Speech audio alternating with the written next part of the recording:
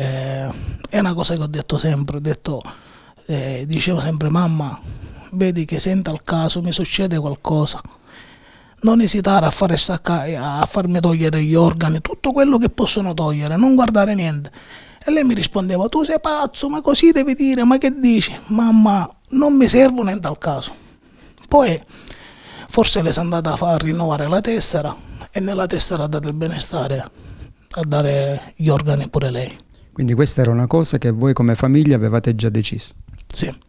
Parla così oggi al nostro telegiornale Gianfranco Fauci, uno dei figli della signora Anna, la 66enne saccense morta per aneurisma cerebrale all'ospedale civico di Palermo, i cui familiari hanno confermato l'intenzione che già la stessa donna aveva manifestato nel rinnovo della sua carta d'identità di donare i propri organi. Ci racconta quando i medici vi hanno parlato di questa opportunità a quel punto? Si può dire che siamo andati là forse per un, un progetto divino perché siamo partiti già da Sciacca con zero possibilità, si può dire, vicino allo zero le possibilità che mia mamma sarebbe sopravvissuta.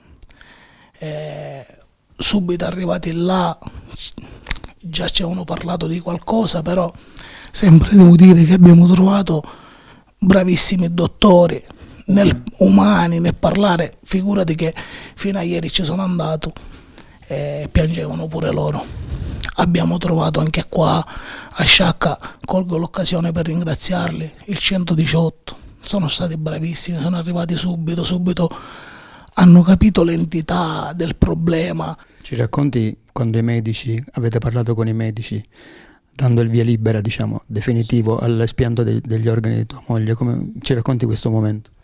Sì, noi eravamo tutti noi di fronte ai medici, allora loro erano già convinti, i miei figli, però io ero ancora stastonnato. Non eri in grado ancora di connettere? In grado di connettere ancora, di, di dire sì, va bene. Infatti al, al medico ci ha detto una, una, frase così, ci ha detto eh, che dobbiamo fare? La, la, dobbiamo smantellare. Dice non dica queste cose, dice non è che la mia smantellata.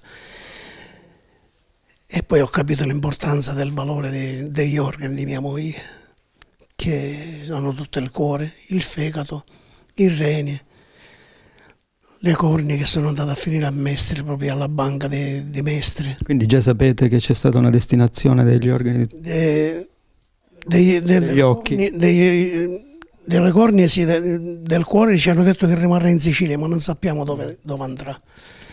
Però siamo contenti che abbiamo donato qualcosa a qualcuno che ricomincia a vivere, magari c'è il cuore che mi ha messo in un in un fondo del letto che sta per morire e allora rivive di nuovo, anche per le persone che vanno in dialisi, che non, non, non possono vivere con due rene, ne possono salvare due persone, perché uno anche con un rene può vivere pure.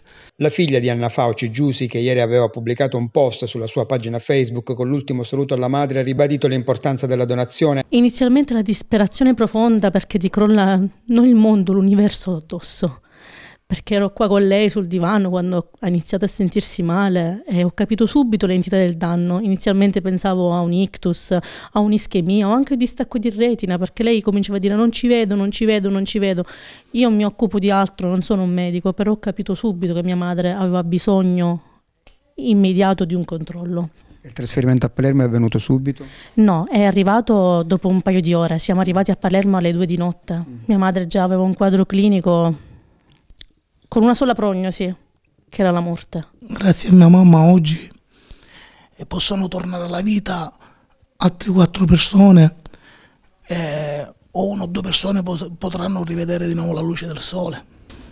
E le abbiamo viste, noi le abbiamo vissute assieme ad altre persone, che ci sono troppe persone che alla fin fine sono dichiarate morti così celebrali, diciamo. Certo eh, è un'altra possibilità anche per mia mamma rivivere in un altro corpo. L'unica cosa che abbiamo potuto fare è questo. Lei lo voleva, noi non lo sapevamo che lei lo voleva, ma già ci eravamo portati avanti per, per fare tutto ciò. Poi sapendo che lei aveva, era la sua volontà, diciamo, eh, ci siamo rasserenati anche noi. Per i funerali eventuali offerte in denaro saranno destinate dalla famiglia Fauci alla ricerca scientifica. E daremo questi soldi a una fondazione che ancora non abbiamo identificato, ma che identificheremo, e faremo beneficenza e cercheremo di aiutare il prossimo. Rispetto a questa grande generosità, perché sembra una cosa scontata ma non lo è, e qual è l'appello che ti senti di formulare a chi ci sta ascoltando? Il mio appello è quello di essere generosi nella vita, di pensare fut- agli altri, perché se per mia madre non c'è stata speranza, il cuore di mia madre, i reni, i polmoni, quelli, qualsiasi tipo di organo che si può donare, che venga donato. Perché se non c'è speranza per un nostro congiunto, deve, ci deve essere speranza per i, per i parenti, per i figli, per i nipoti, per il padre, per la madre di qualcun altro. E mia madre ha dato la speranza a loro. Tua moglie aveva 66 anni, poteva, avrebbe potuto vivere ancora e capisco che questo è difficile è da accettare. Ecco, però voi in questa cosa è possibile dire che state trovando la forza di andare avanti? E stiamo cercando con tutte le forze noi di andare avanti perché, vede, per adesso ho tutti qua vicini i miei figli, però il problema sai quando, quando la sera se ne vanno a casa loro, allora chiudi la porta e rimani da solo, ti guardi in giro così e sembra una, una mina vagante, sai, dove giri giri sempre confuso. Questo è il problema, eh. però il messaggio che noi, che noi diamo a chi è che, che può di donare e far rivivere altre vite, che la vita continua e continua per tutti.